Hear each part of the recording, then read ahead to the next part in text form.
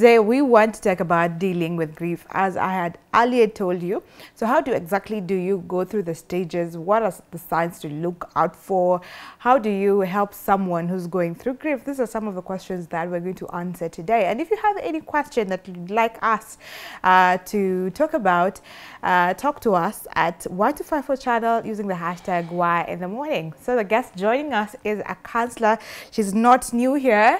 Uh, she's called Zipporah Wanyeki. Karibu sana Zipporah. Asante sana. Glad to have you back. Oh, thank you. Thank you so much. Long time. It's been a while. yeah, yeah, Yeah. yeah, But we are good. Yeah, I'm good. We Thank God. Glad to see you. So, um, we want to talk about grief. So, for what is grief really? Mhm. Uh, thank you, Stephanie. Um, the simplest uh, terminology we can use to describe grief, it is intense, intense sorrow that is caused or that is felt by anyone who is mourning, who has been left by uh, a beloved one. So Okay. that feeling of intense sorrow, that hollowness, that emptiness, that you know sadness is what you call grief. Okay. Yes. So, it's uh, the intense sorrow caused by the loss Yes, of a yes. loved one. Mhm. And is it only uh, loss by death that causes grief? Oh no, when we are de defining grief, eh, I want to, you to know that uh, loss is not just loss of life. It can be loss of property.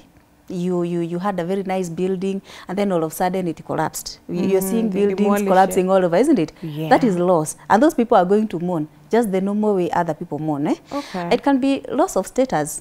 Probably maybe you were married and then uh, uh, the husband asked for divorce or the, the wife. So you've lost your status. Maybe in a job you are demoted. mm -hmm. It's loss. You will mourn. Maybe Okay. loss of you, uh, uh, something like um, like what relationship, a friend, loss of a pet. You know, okay. in the Western people mourn the pets. So they when you imagine our own, you don't mind about the dogs moving. Uh, yeah, they mourn their pets. Wow. Yeah, so that Okay. is loss. So loss can be in many forms, eh? Yeah, not just uh, loss of life, but maybe today we want to deal with uh, probably Ye- loss of life. Yes, you've so seen I've- people have lost life all over here, isn't it? Yeah, people- you had stories in Mombasa and everything, and um, by the time those people come to fathom what is happening in their lives, they realize that they are stuck. And uh, I want you to know that uh, when we shall be dealing with that later, uh, depending on how well you're supported, you can move on or you can get stuck. Okay. Yeah, so loss is something that people should not joke with. And people should not come and tell you, "Wewe umelia sana, umelia sana." Stephanie, si Ufai mwache Mm. You know, Kenyans, we, we, we do things innocently and we, we want to help in all ways possible. But your helping is in the wrong way. Worsening the situation. Worsening the situation when you go to bari and you're comforting the, the, the, the mourning people and you're telling them wacha apumzike is in a better place you know mm. none of those statements will sink to mm. anyone who is mourning Okay. telling them that it is well oh wacha apumzike after all he was an old man that's Doesn't- very wrong mm. yeah so loss is loss Okay. and we mourn it the proper way and let me tell you you better mourn your loss Why, why is it important to to mourn? There's a difference between mourning mm-hmm. and grieving.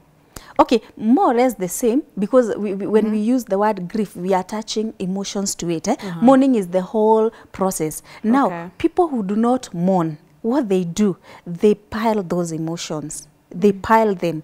You know, at the back of your subconscious, that is where your memories, the good ones and the bad ones, are piled. When you don't mourn a loved one, these are the people who have the, the most difficult time healing. They don't believe. And that is why you have, I, I think you've been to the barrio uh, maybe of a close person, and you realize that at the morgue, they will come and as difficult as it is, they allow the family members to be the ones, you know, to to to to, to lock the coffin, you know, drive the, the the last nail, and you wonder why are they torturing them? Why why why must you insist that they be the ones to throw the soil? Is very important. Very important. Okay. It is making them. It is the beginning of the their healing, uh-huh. and it is bringing the closure. It is the beginning of bringing. You know, this person will know after all. Tuliweka huyu mtu Lang'ata. mm -hmm. So I am not waiting for this person to come, to come back, back to us. Otherwise, if somebody dies and is buried mm -hmm. and you're not involved in the whole process, Yeah. at the back of your mind, you will keep on imagining that they are coming back to you. mm -hmm. Therefore, you don't move on. Okay, so Yes. mourning is key in it is key your recovery Very process. important. And for someone who's uh, maybe can't mourn, or I don't know if there's a standard on how mourning should be done. You know, you've mentioned the throwing of the soil. Uh, Uh-huh. You know, but someone who's sometimes your loved one dies.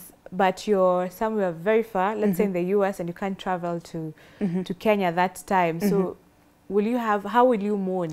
Oh, there are different ways of mourning because nowadays I see uh, with the social media era, everything is online, isn't it? mm -hmm. So you realize that even during that uh, burial process, it was live.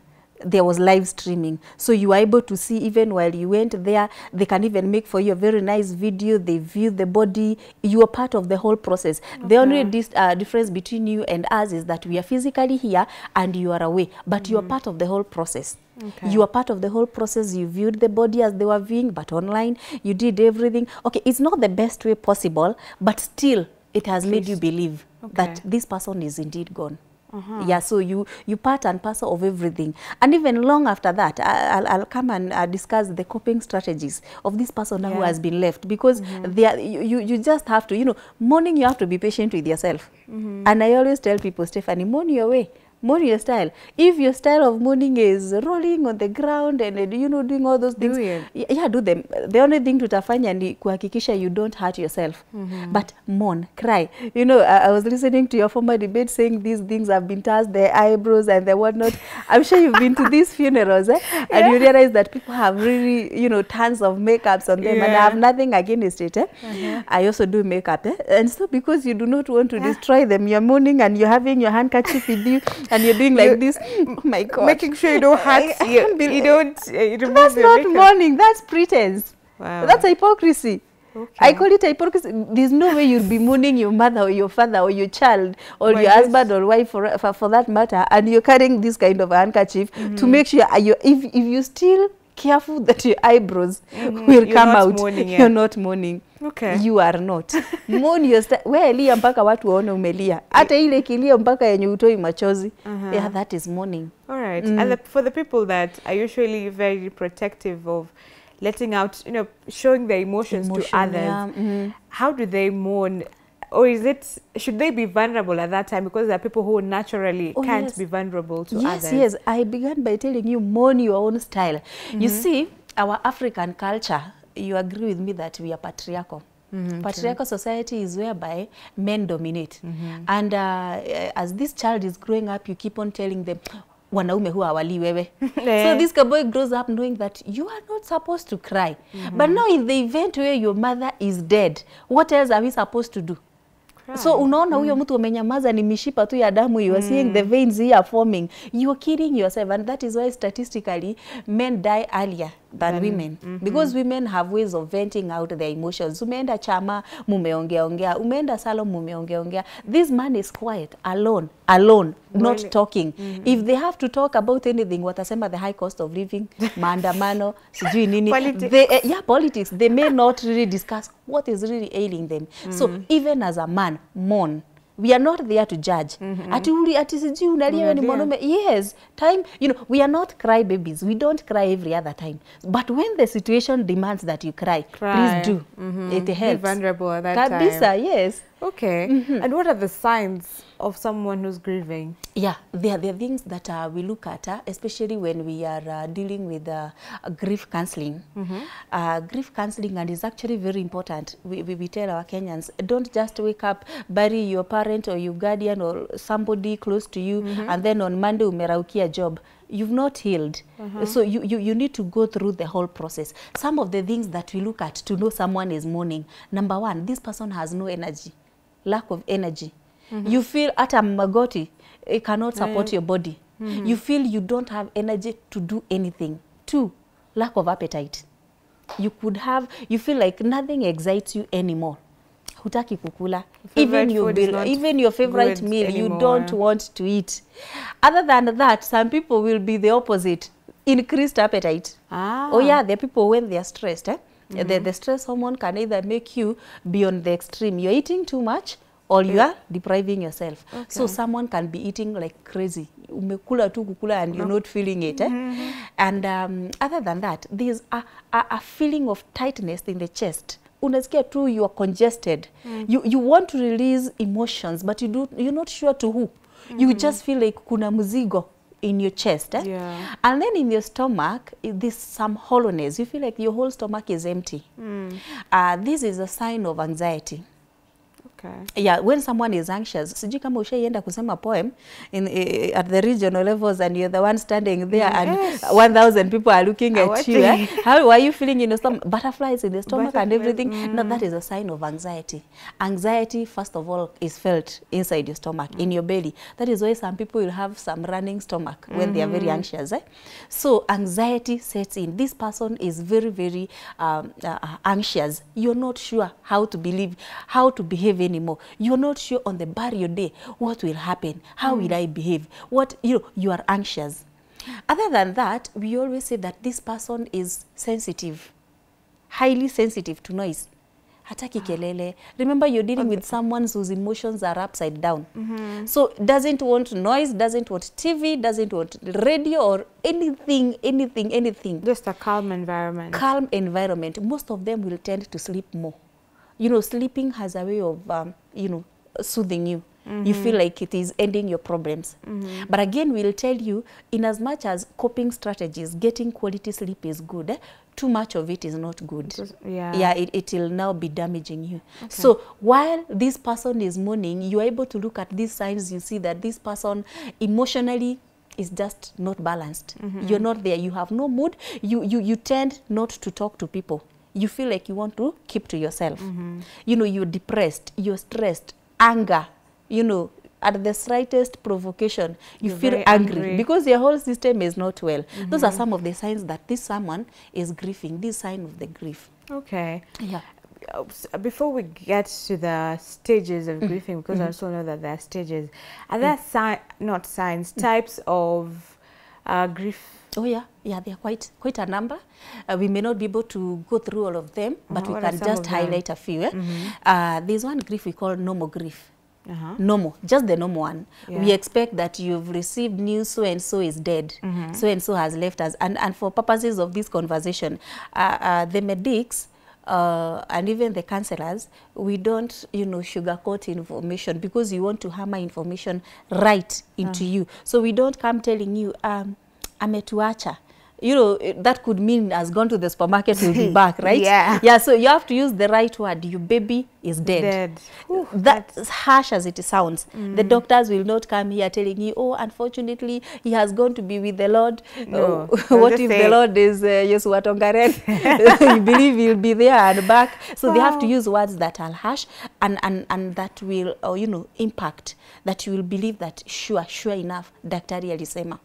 So uh, we have the normal grief. When you receive news, uh, so and so is dead, you feel that sign of loss, you go through the morning that is just the normal grief.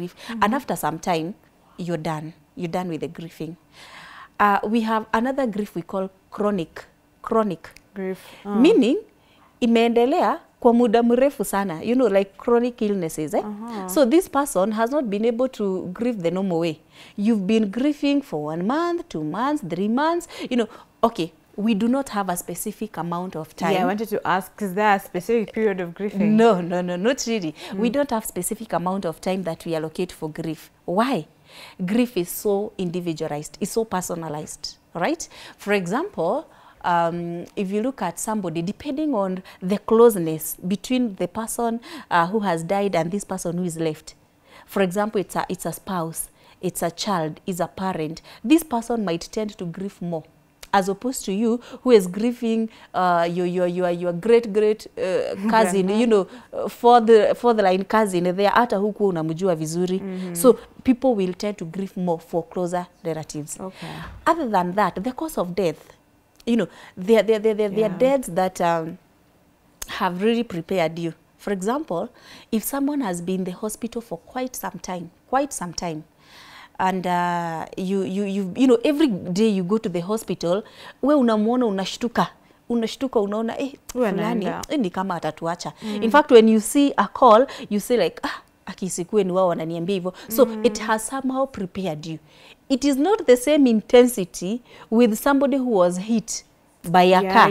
he- a mtu alikuwa tu person, healthy normal alikuwa anaenda kazi zake then was hit by a, an overspeeding car and died on, On the, the spot. spot. you might you know mourn more because while this one it prepared you At least we yeah, call it anticipatory we are coming to the third category anticipatory grief Mm. while one prepared you the other one did not prepare you so you might tend to to, to mourn more that. think of mm. even these people uh, who have seen uh, the, the parents or the children die in a very cruel way Mm -hmm. you know like for example the person was murdered Or in a raped very yes raped murdered you know killed in a very brutal way. Mm -hmm. these people will mourn more. They feel like oh my god where was i? Why was i not able to save this child mm. -hmm. this person? You feel? So they'll grieve more as opposed to this other person probably who was uh, 105 years old has lived and seen the generations and everything and died peacefully Yeah. we come to celebrate life True. because we, we, we have felt like sasa tumemwachilia there's always that pain there's always that kaugumu mkiachana but of course now at 106 years hapo everybody says now let her rest mm. let him rest Yeah. but now this death of somebody who just graduated and got his first job so sad yeah it, it, it becomes very sad eh? so we said there's no more grief there's chronic grief. Then we have that uh, uh, another one called the anticipated. grief. Yeah. This is somebody you're seeing deteriorating day by day. Okay. so every single morning you are anticipating naweza simu So anaweza tuacha. psychologically psychologically prepared. you prepared. That is anticipated. So these people do not grieve on the material day. They are told he's dead or she's dead. Mm. they begin grieving much earlier. Okay. every day mnaenda unaona ako ICU every day unaenda unaona condition yake. Mara blood level mara what what. The blood pressure is misbehaving up and down. Wakati mwingine unaona daktari wamekimbia hapo. So it has prepared you way in advance. Mm -hmm. we call it as anticipatory grief. There are quite others We- there's complicated grief. Okay. Complicated grief this is grief that you've not been able to overcome. Eh, we call it complicated. The moment you're going to come out of it more emotion sets in. Okay. The moment you're going to more emotion sets in. And many more because there is even this grief where you find that um, when you're about to finish another grief comes Ah, in sets in. Before it you finished burying your father then your mother died while you're mourning your mother the other sister died so this has just piled mm. and um, this type of people we recommend them to a grief therapist did you know there's a grief therapist no i'm just hearing it Oh for the yes, first there's time. a grief. When grief cannot be handled by the mm-hmm. normal counselor, because now it has become complicated. Yeah. We advocate that you go to a grief therapist. He will be able or she'll be mm-hmm. able to walk with you through the journey mm-hmm. with all the patience in this world. Because those people, they need patience, enough Yeah. of it. And uh, for purposes of this conversation, we tell Kenyans the much you can do to a grieving person, to a mourning person, mm -hmm. is not necessarily advice. They don't need any of it. Yeah. Hii advice ya kumwambia ati sasa ikifika hapo mtu anafanya hivi, vaa viatu, jifunge kama mwanamke. Don't give them advice. They don't. In fact, they are not listening. Mm. The much you can do is a listening ear. At just most, let them talk and vent. allow them to vent allow them to talk. When they break down give them a handkerchief listen to them. Sometimes you may not even have solutions but you are there to listen. That's all they need. If they can repeat their stories to as many people as possible That it is is- their healing. They are healing as they are talking.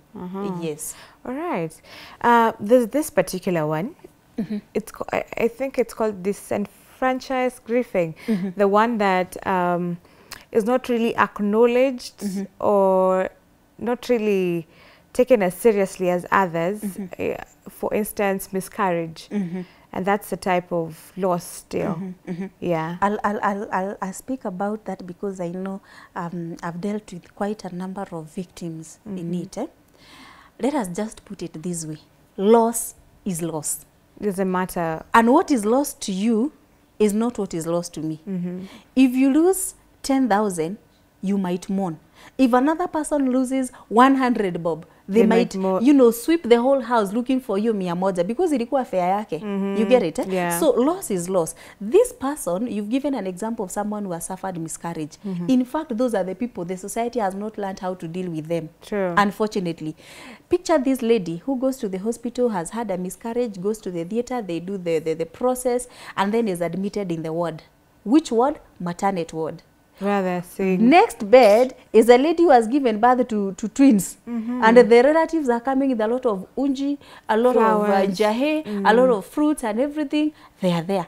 they are celebrating this baby where is your baby Gone. so how are you supposed to be feeling a failure you feel inadequate you mm. feel you know the world is crashing you don't want even anyone to visit you in the hospital because that's a form of loss so mm. there are losses in the society that are not treated as loss but indeed they are the impact is the same mm -hmm. the process of mourning is Is the, the same. same. and if this person is not taken good care of they might get to depression when we are doing the stages of loss that is That's what one of the, the stages next one, yes, yes. yes So tell us the stages now. the stages eh? Yeah. there was this uh, american psychologist called kubra ross Mhm.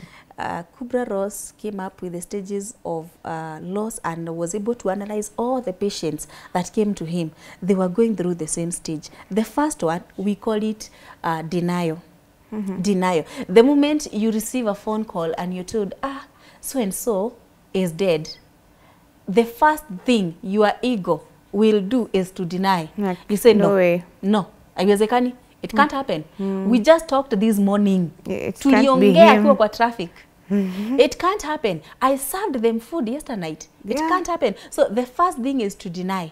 You deny and deny and deny. It is a way the ego you know you know we, we, we call them the ego defensive mechanism. Mm -hmm. it's a way the ego protects itself. So the first one is denial. Okay. The moment you deny and deny or even let's even talk about people with chronic illness. Someone comes and tells you ah you you you your parent or someone close to you has cancer. The first thing is to say no It's- no no no no. It can't and in fact you even hate that hospital and you want to seek another opinion from a different medic yeah. a different hospital and, and practitioner akwambie. So you will come to believe way later when you had it maybe the third or the fourth time. Mm -hmm. so denial is the first stage. Most people when they receive the news of loss they deny. Mm -hmm. after denial which might take hours to several days they realize that hii kitu ni ya ukweli. Watu hata washaanza kukutana for, for burial preparation. Mm -hmm. now you go to the second stage anger. You deny then you go to anger. Anger you're very angry. Angry at you are angry at, at everyone. This is where this person when i'm, I'm consoling someone uh, depending on the questions they are asking me i'm able to assess what stage they are at. Okay. so if you meet this person who is telling you but me i know. Where, where was god?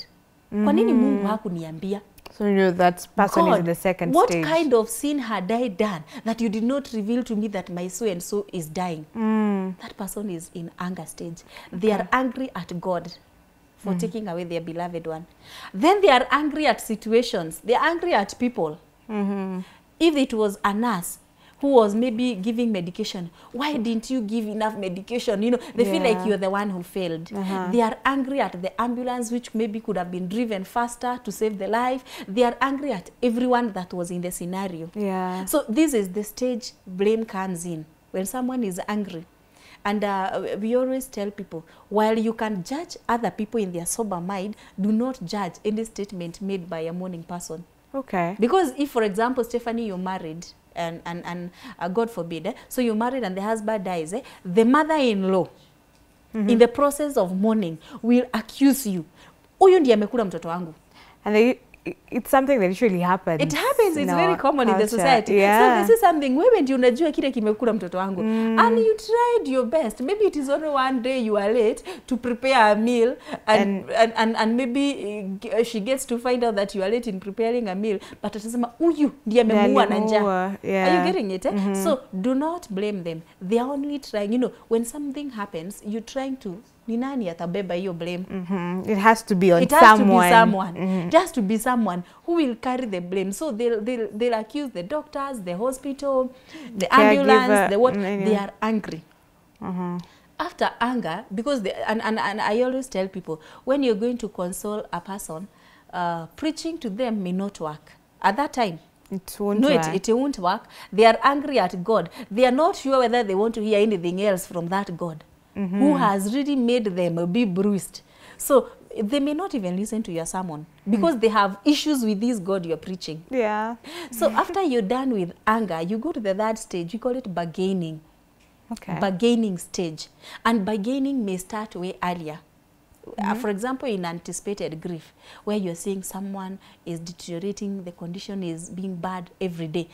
While they're bargaining, they might come and say something like, Mungu, God, if you, you know, if you preserve so and so's life, I will I'll serve this. you forever. Yeah. This is when you give all the promises in this world. Mm. God, if you preserve this person, God, if only you bring us our baby back, I, I will, will do this and this and this. You know, you life. promise from here to Timbuktu and back, but you're only bargaining. You're only bargaining. Mm. But after your bargaining stage, all these stages I've told you, they are not long.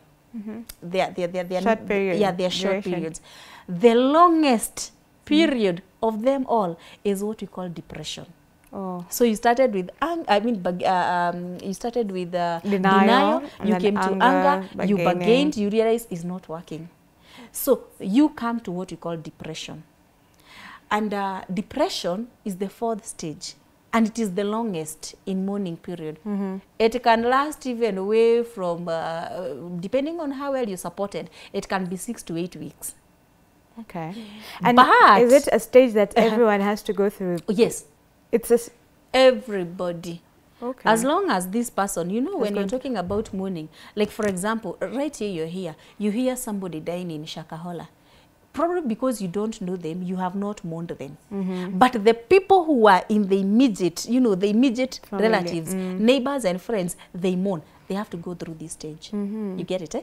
And so, um, while you are at depression, this is now when the height comes. I, and I started by saying, even biblically, people used to mourn for 40 days, mm. uh, according to the Holy Scriptures. Eh? Okay. But now, that does not mean that that is all. That is what they recorded, maybe in the law of Moses or something like that. Mm-hmm. There are people who will mourn for one month, two months, three months, six months. One year down the line, they are still mourning. Mm-hmm. But now I always tell people, depending on your support system, because if you are well uh, Taken care, supported, mm-hmm. you will outgrow depression quicker than Than somebody with no support.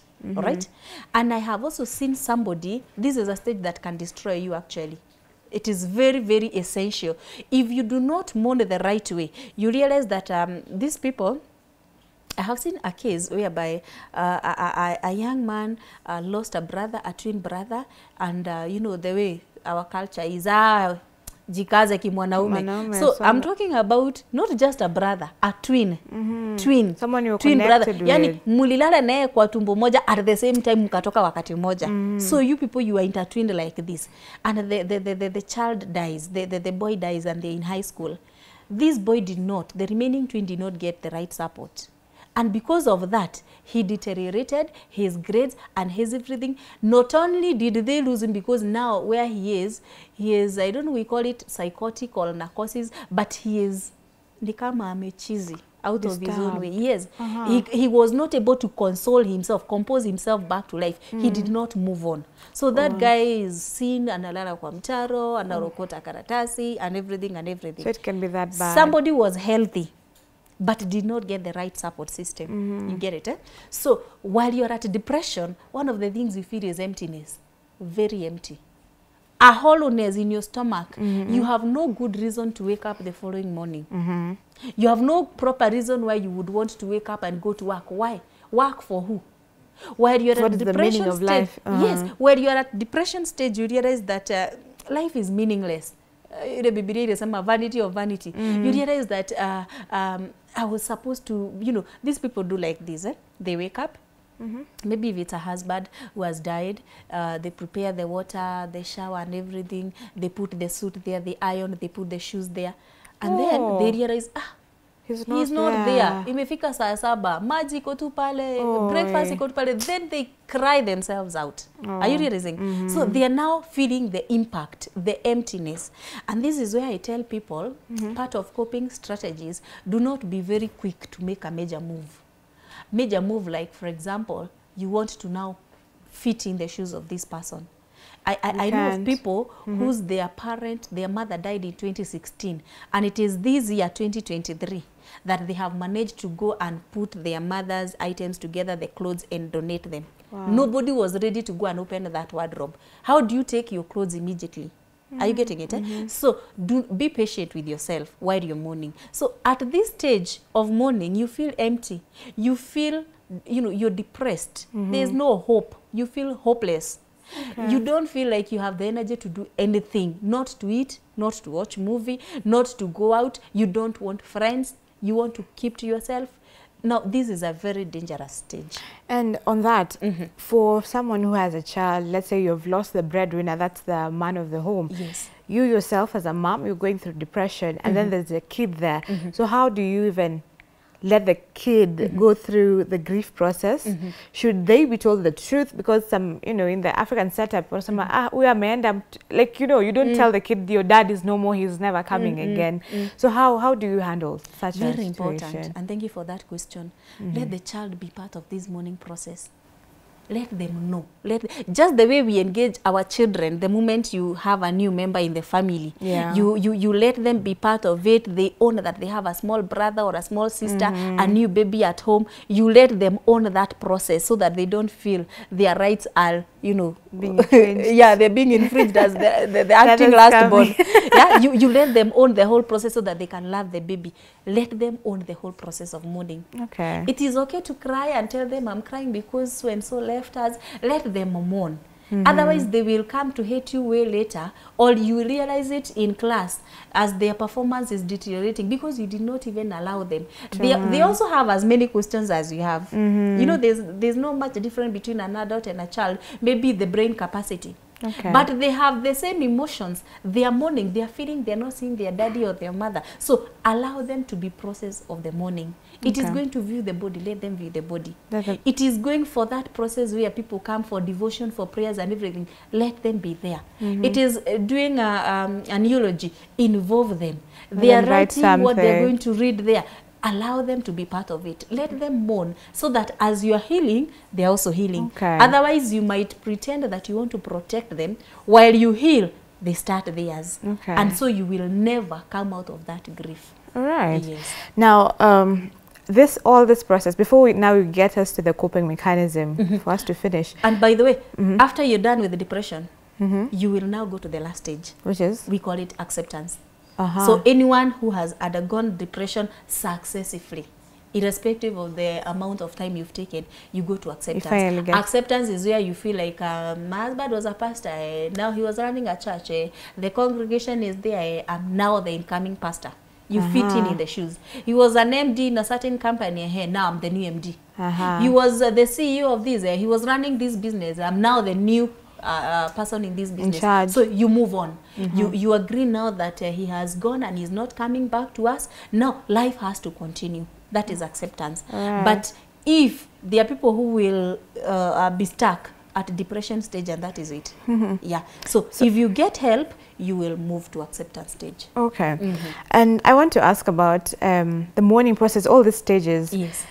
I know some come earlier, mm-hmm. but do does most of it come after you've buried your loved one? Because mm-hmm. I know before you bury the loved one, there's a lot of support that people get. Yeah, yeah. People visiting every, you know, every evening. There's mm, tea. Mm, th- mm. there's people in the house. It's Yeah. full, and then after the burial, mm-hmm. you're usually alone, back to normal. You mm-hmm. know, and you. I think uh, reality sets in. Oh, so yeah. is it worse after? Mm -hmm. Yeah, it becomes worse after. Mm -hmm. During this time, okay, denial will come the moment you realize you've been given the news, you're bargaining and you're everything, but reality hits you after. Unaona pale watu wamerusha mchanga. And then after that, you know we are Kenyans, eh?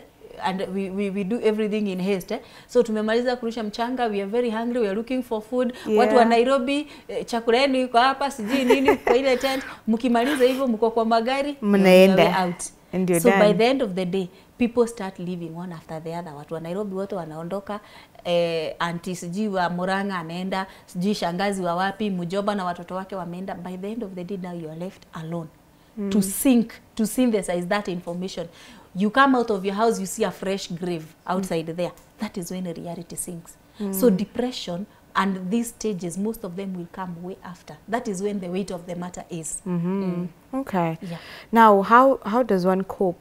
coping With strategies yes. yes. and actually this is very important mm -hmm. so that we are able to tell people even those people who are called to identify their bodies and you know it's it's very sad It- it's very sad Very sad. Uh, I always imagine, the, you know, you can never, never tell somebody that I understand. You can never You can understand never somebody's understand. pain. You can't. You can only imagine. So I try to imagine their pain. You called to identify your, you know, your, Your loved your, your one. loved one. There is not a very good sight. Now, one of the coping strategies that we tell people is number one, agree to mourn. Mm -hmm. Agree to mourn.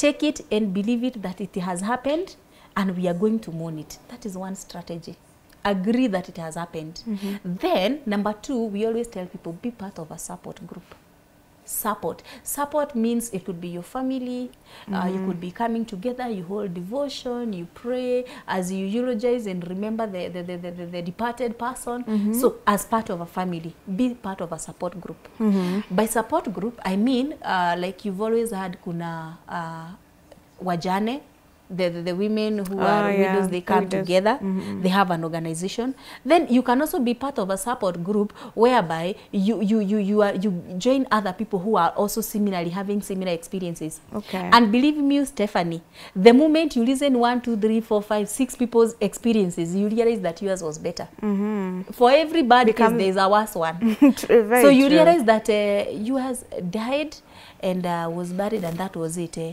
uh, alikufa There on top of drama, kufa uh, he was maybe probably hiv so the wife was left with it or the husband was left with it so he's been left with the condition and also some children to nurse Yeah, all right That's... so this one died and left a court case Mm -hmm. are you getting it Mm -hmm. so the moment you analyze several cases you realize I Mine you is to- better are better off. off and mm. it helps you soothing your ego and in healing process eh? mm -hmm. i always tell people uh, other than support group eh, it is good that you program yourself in a way that you can do a journal mm -hmm. write a journal write your feelings record what you're feeling that day towards that person record the beautiful memories you mm -hmm. had with this person like maybe uh, one time it took us to the beach another time she maybe paid for a flight to where you know there are beautiful memories we had with the departed write them down it's mm. part of healing it's part Okay. of healing mm -hmm. if you have his pictures with you and you are okay i'm using the word if you are okay because most people are not okay they don't even want to see that photo Yeah. if you can keep an album of the beautiful places we visited together the better it's part of you know healing and accepting that he is gone Mm -hmm. occasionally maybe at the end of uh, every year you can do an anniversary Mm -hmm. but again you have to be be prepared anniversary might trigger some mm -hmm. emotions that you had Yeah. so that is the time you need enough support enough mm -hmm. enough support out of it eh?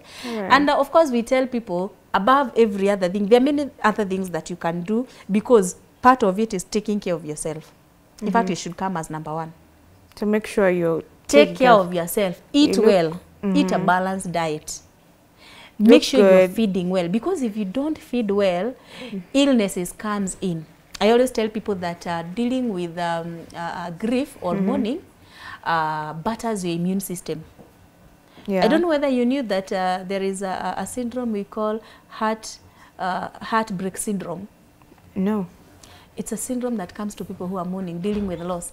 It has similar um, characteristics and similar symptoms like a heart attack.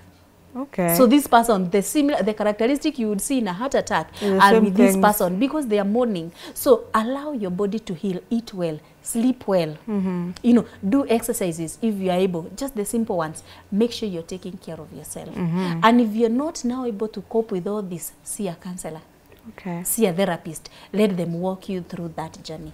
Be part of a devotion. Be praying for the person, for everything, for your inner healing. You know, being mm-hmm. part of doing devotion helps in inner healing. Okay, Yes. amazing. Mm. Finally, mm-hmm. for the people that, you know, it, sometimes it's hard to know how to handle someone dealing with grief, and you've mm-hmm. alluded to it several times, Ali, but maybe you can, you know, put some more emphasis on it. Uh-huh. What should someone do when you have someone grieving? Could mm -hmm. be a friend, could mm -hmm. be, you know, anyone. Mm -hmm. Yeah. Thank you.